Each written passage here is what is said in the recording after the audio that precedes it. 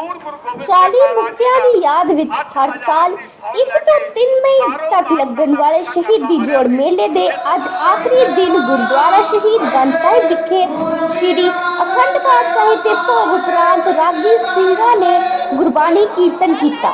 ਇਸ ਉਪਰੰਤ ਸ੍ਰੀ ਦਰਬਾਰ ਸਾਹਿਬ ਵਿਖੇ ਧਾਰਮਿਕ ਦੀਵਾਨ ਸਜਾਏ ਗਏ ਜਿਸ ਵਿੱਚ ਰਾਗੀ ਢਾਡੀ ਅਤੇ ਕਵਿਸ਼ਰ ਜਥਿਆਂ ਨੇ ਸੰਗਤਾਂ ਨੂੰ ਗੁਰ ਇਤਿਹਾਸ ਨਾਲ ਜੋੜਿਆ।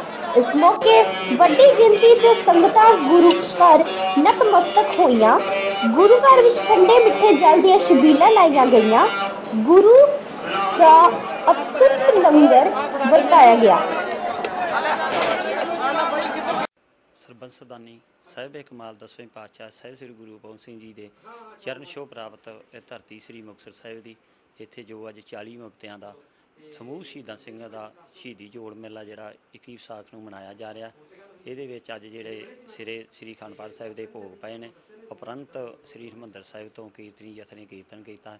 ਸੰਗਤਾਂ ਜਿਹੜੀਆਂ ਉਹ ਬਹੁਤ ਵੱਡੇ ਪੱਧਰ ਤੇ ਜਿਹੜੀਆਂ ਉਹ ਸ਼ਹੀਦਾਂ ਦੇ ਸਥਾਨ ਤੇ ਨਤਮਸਤ ਹੋ ਕੇ ਗੁਰੂ ਘਰ ਦੀਆਂ ਦਸਵੇਂ ਪਾਤਸ਼ਾਹ ਦੀਆਂ ਖੁਸ਼ੀਆਂ ਪ੍ਰਾਪਤ ਕਰਦੀਆਂ।